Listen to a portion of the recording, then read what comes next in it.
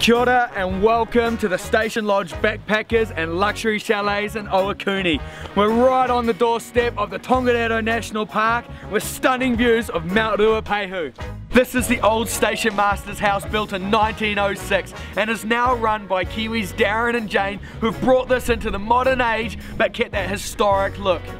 Station Lodge has two comfy lounges with flat screen TVs, cozy fire in winter, free internet in summer, luxury chalets with private spas, and free town bikes.